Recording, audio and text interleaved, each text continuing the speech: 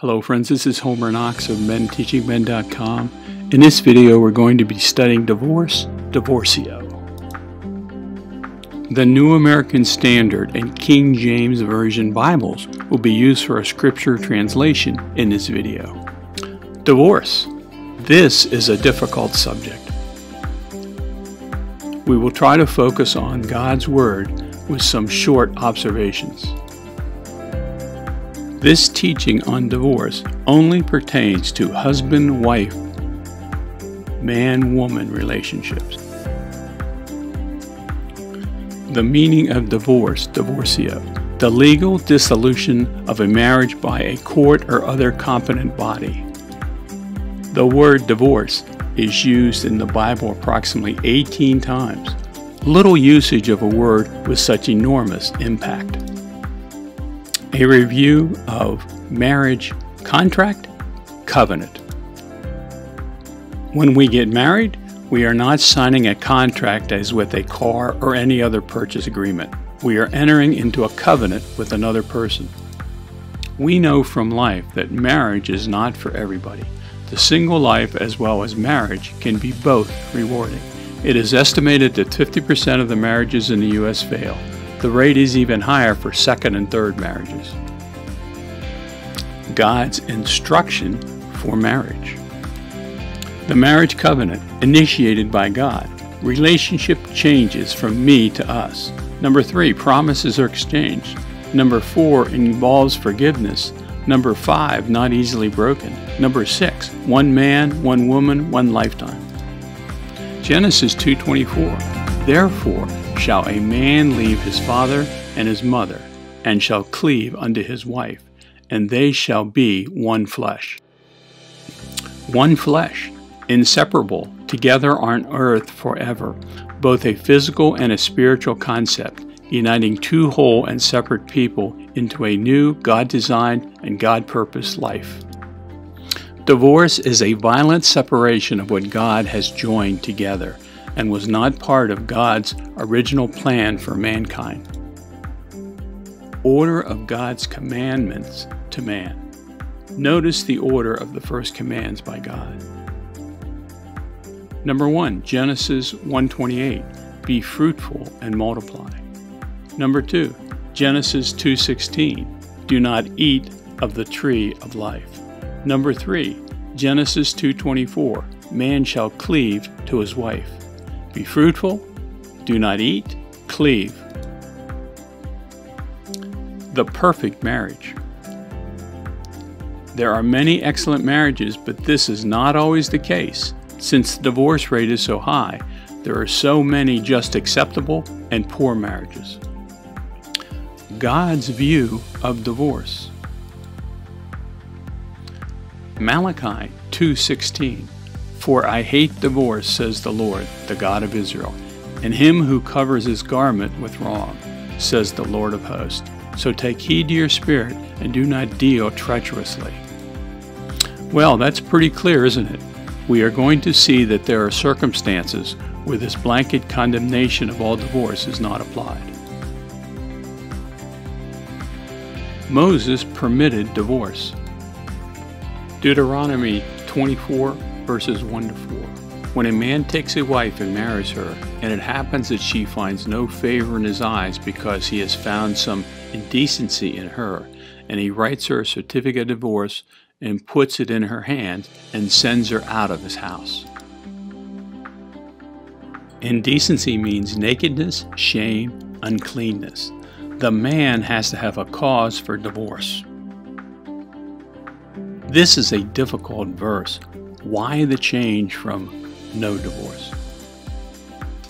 One possible reason might be that when Moses wrote this, women in many circumstances were treated poorly as property. Probably this was added for the protection of the wife or children from abuse. Ezra, Jews take heathen wives. After settling in the promised land of Canaan, many Jewish men marry heathen women against God's command the people confess their sins and make a commitment to divorce the heathen women. Ezra 10 2 3. We have been unfaithful to our God and have married foreign women from the peoples of the land. Yet now there is hope for Israel in spite of this. So now let us make a covenant with our God to put away all the wives and their children. This is a very interesting verse. This is a decision with bad options. Which is the worst option? What would you do? Jesus explains this divorce exception. Matthew 19 8 to 9. Because of your hardness of heart, Moses permitted you to divorce your wives. But from the beginning it has not been this way. And I say, whoever divorces his wife except for immorality and marries another commits adultery. Jesus teaches that immorality is a cause for divorce. Immorality harlotry, adultery, or incest. All three of these causes are sexual in nature. Jesus also clarifies marrying another person after a divorce. Luke 16:18 Everyone who divorces his wife and marries another commits adultery, and he who marries one who is divorced from a husband commits adultery. The apostle Paul's view on divorce. 1 Corinthians 7 10 to 11. But to the married I give instructions, not I, but the Lord, that the wife should not leave her husband, but if she does leave, she must remain unmarried or else be reconciled to her husband, and then the husband should not divorce his wife. Many church denominations take the following position on divorce. If you are married and you cannot live together, separate, but the church would never counsel divorce. The Samaritan woman at the well, Jesus dealing with divorce. John 4 7 to 26. After this woman expresses interest about Jesus' teaching on living water. John 4 16 18. He, Jesus, said to her, Go, call your husband and come here. The woman answered and said, I have no husband. Jesus said to her, You have correctly said, I have no husband. For you have had five husbands, and one whom you now have is not your husband. This you have said truly. Wow, five husbands, living with one not married. It is not listed how in this passage, but Jesus deals with her sin, the divorce issue. He continues to minister to her to the point of declaring himself to be the Messiah. How wonderful! Jesus cleanses the divorce issue and continues to love and minister to the Samaritan woman. What a great God we have who forgives our sins. Marriage reconciliation.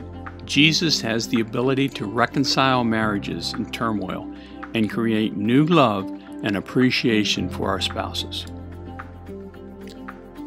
Diligently seek Jesus in prayer and worship for your victory. Conclusions on divorce. Number one, take your time and seek God's will for a Christian marriage partner for your life.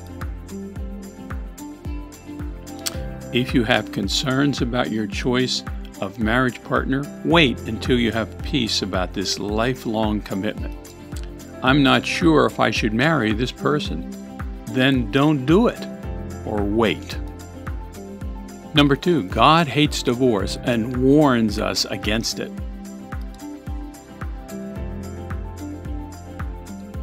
Number three, divorce may only be sought for serious moral reasons. It should never be done lightly or frivolously. Number four, there could be circumstances where divorce is the only reasonable option abuse, sexual sin, other sins.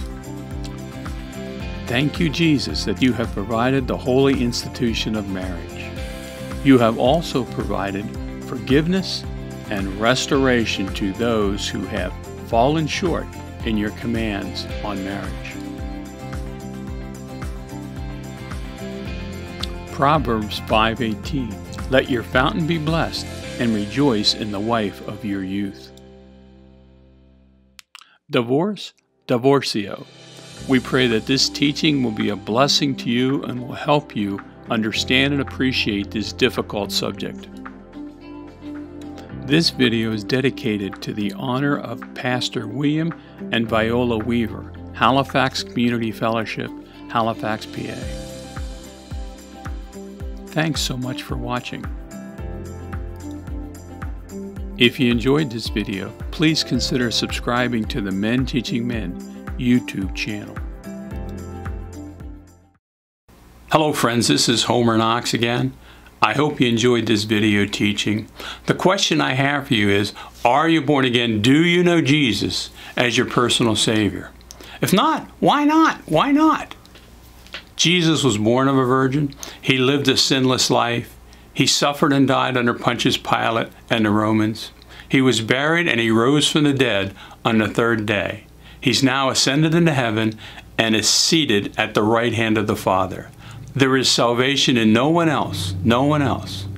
And so if this has stirred your heart and you would like to receive Jesus Christ as your personal Savior, please pray with me.